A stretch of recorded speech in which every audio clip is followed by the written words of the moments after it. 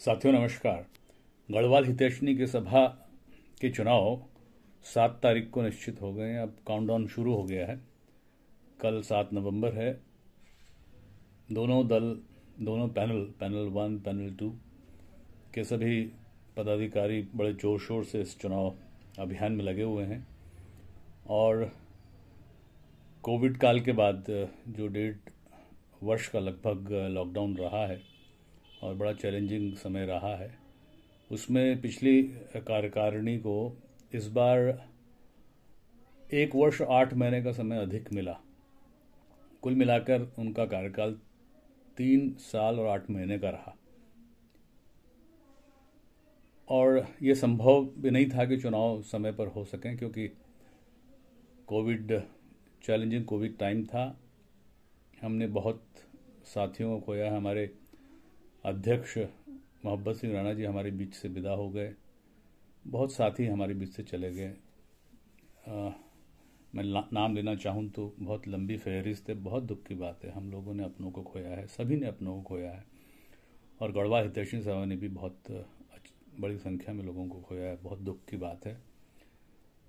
सभी आत्माओं को मेरी तरफ़ से श्रद्धांजलि। कल का चुनाव साथियों, बहुत महत्वपूर्ण इस लिहाज से भी है कि पहले के मुकाबले इस बार बहुत सक्रियता इस चुनाव में देखने को मिली है, जो एक बहुत अच्छा लक्षण है। क्योंकि किसी भी सामाजिक दायरे में अगर कोई समाज के व्यक्ति सक्रियता से अपनी भूमिका निभाते हैं तो एक बहुत अच्छा लक्षण होता है कि अपने समाज के लिए, अपनी कम्युनिटी के लिए, अपनी बिरादरी के लिए, अपने संगठन के लिए सब लोग पूरे जागृति के साथ समाज सेवा में आगे आ रहे हैं। ये बहुत अच्छा लक्षण है। और सोशल मीडिया के आने के बाद खास तौर से इस चुनाव की अहमियत और ज़्यादा महत्वपूर्ण हो गई है, अन्य चुनावों की तरह। और ये पहली बार देखने को मिल रहा है कि ये चुनाव इस तरीके से लड़े जा रहे हैं। मानो कोई विश्वविद्यालय के चुनाव हो या कॉलेज, महाविद्यालय के चुनाव हो। और ये अच्छी बात है। और जिस तरीके से इस चुनाव में आपसी सामंजस्य और समरसता का माहौल है।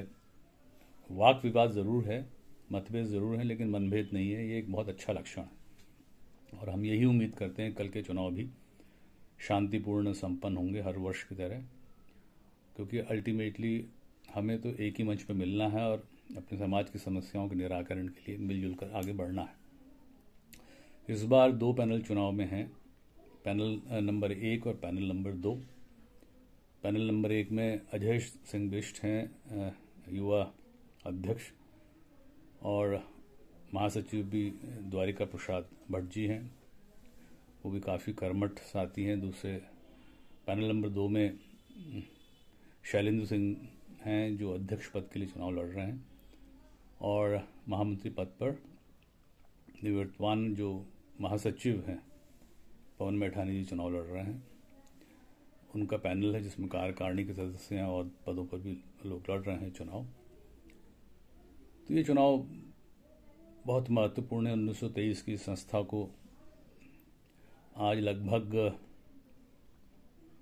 नब्बे वर्ष हो गए और हमारे जो पूर्वज हैं, उनके जो, उनकी जो मेहनत थी इस संगठन को, इस सभा को, इस भवन को बनाने में उसके काम को हम लोग आगे बढ़ा रहे हैं, मिलजुल करके, अपने उद्देश्य के प्रति लक्ष्य निर्धारित करके। आज मूलतः है गढ़वाल भवन में कब्जे का प्रश्न। गढ़वाल भवन में जो एक हाउस टैक्स की समस्या जो पचासी लाख तक पहुँच गया है, दो महत्वपूर्ण सवाल हैं जिन पर आगे लड़ाई लड़नी है।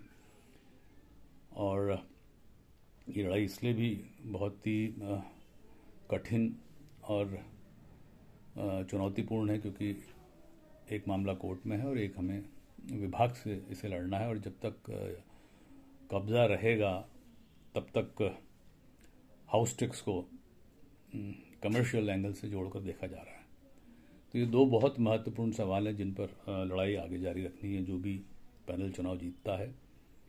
इसके अलावा संस्था के और भी बहुत सारे उद्देश्य हैं, जैसे सामाजिक क्षेत्र में सांस्कृतिक क्षेत्र में मेडिकल सुविधाओं की व्यवस्था करने के सवाल पर हमारे जो समाज के बच्चे हैं, उनको उनकी शिक्षा, उनकी काउंसलिंग को लेकर के जो एक शुरुआत की गई, अच्छी शुरुआत है प्रशंसनीय है, उसको आगे बढ़ाने के लिए और बहुत सारी चीज़ें जो समाज से जुड़ी हुई हैं, उन्हें आगे बढ़ाने के लिए, लक्ष्य पर पहुँचाने के लिए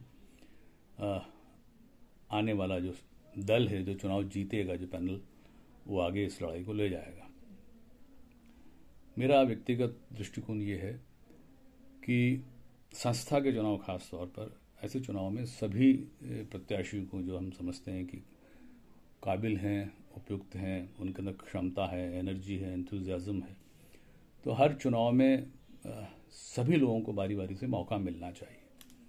और मैं समझता हूँ कि बढ़िया तब रहेगा कि जो इस बार चुनाव में लड़ रहे हैं, खासतौर से महत्वपूर्ण पदों पर, वो अपनी पारी तीन साल की पूरी करके अपना मैक्सिमम कंट्रीब्यूशन दे करके स्वतः ही किनारे हो जाए अगली बार नए लोगों को चांस दें। क्योंकि प्रजातंत्र की जो सबसे बड़ी हेल्दी प्रक्रिया है हेल्दी ट्रेडिशन है, वो यही होता है कि नए लोगों को मौका मिले बदलाव को मौका मिले, ताकि जो नया व्यक्ति पद पर आता है, वो नई शक्ति और ताकत और क्षमता के साथ चुनाव लड़ता है।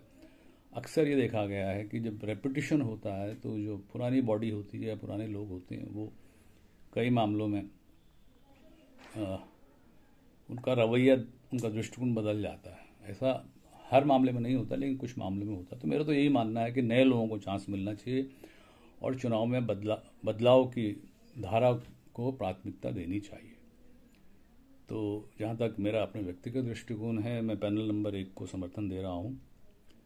हालाँकि पैनल नंबर दो वाले सभी मेरे मित्र हैं, आदरणीय साथी हैं। सबसे मेरा प्रेम है, मोहब्बत है, अच्छे रिश्ते हैं, रहेंगे भविष्य में भी, क्योंकि हम एक समाज के ही लोग हैं। कोई आपसी विद्वेष नहीं है, कोई मनभेद नहीं है, मतभेद विचारों को लेकर के या कुछ पॉलिसीज़ पे, कुछ कार्यक्रमों पे हो सकते हैं। तो मैं पैनल नंबर एक को समर्थन कर रहा हूँ। मेरा आप सबसे यही निवेदन, अनुरोध है कि सात तारीख को, पैनल नंबर एक के अजय सिंह बिष्ट को और द्वारिका भट्ट को, अध्यक्ष और महामंत्री पद के लिए और साथ साथ उनके समस्त पैनल को आप अधिक से अधिक मतों से विजयी बनाएँगे ताकि एक नई परंपरा, गढ़वाल हितैषणी सभा, गढ़वाल भवन के लिए हम स्थापित कर सकें और जो दो महत्वपूर्ण मुद्दे हैं, उन पर लड़ाई को बहुत मजबूती से आगे बढ़ा सकें साथ साथ जो उनका मैनिफेस्टो है, जिसमें उन्होंने मेंबरशिप खोलने की बात की है, वो भी एक बहुत महत्वपूर्ण प्रश्न है, जिस पर मैंने भी समय समय पर आवाज़ उठाई। और मेंबरशिप खुली भी थी, लेकिन बाद में किसी वजह से, कोर्ट में जाने की वजह से वो मामला रुक गया। तो मैं समझता हूँ कि गढ़वाल हितैषणी सभा की मेंबरशिप खोली जाए। मेंबरशिप के माध्यम से हम लोग ज़्यादा से ज़्यादा लोगों को अलग अलग क्षेत्रों के जो हमारे काबिल लोग हैं, वो इस संस्था से जुड़ें, ताकि हम गढ़वाल हितैषी सभा को नई बुलंदियों तक ले जा सकें। तो मेरा इतना ही कहना है कि पैनल नंबर वन को आप अधिक से अधिक मतों से विजयी बनाएँ, युवा साथियों को मौका दें, और जिन्हें मौका मिल चुका है, उनके बजाय नए लोगों को मौका दें ताकि हर बार नई टीम आ सके और नई स्फूर्ति और तजुर्बे के साथ पुराने साथियों के काम कर सके। पुराने साथियों से मेरा अनुरोध है कि नई टीम को सहयोग करें, चुनाव के बाद अपने मनभेद भुला दें और गढ़वाल हितैषणी सभा, गढ़वाल भवन के उद्देश्यों को आगे बढ़ाने के लिए मजबूती से काम करें। हमारे मतभेद हो सकते हैं, लेकिन मतभेद कभी नहीं होने चाहिए। आखिर हमने एक ही जगह बैठना है। तो एक बार फिर मैं सुनील नेगी, लाइफ मेंबर गढ़वाल हितैषणी सभा, आपसे अनुरोध करता हूँ कि पैनल नंबर वोट एक को वोट दे करके, अधिक से अधिक मतों से विजय बना करके, गढ़वाल के गढ़वाल हितैषणी सभा के नए अध्याय को जन्म दें, ताकि हम महत्वपूर्ण सवालों पर लड़ाई आगे बढ़ा सकें और निश्चित नतीजे पर पहुँच सकें। जय हिंद, जय भारत, जय उत्तराखंड।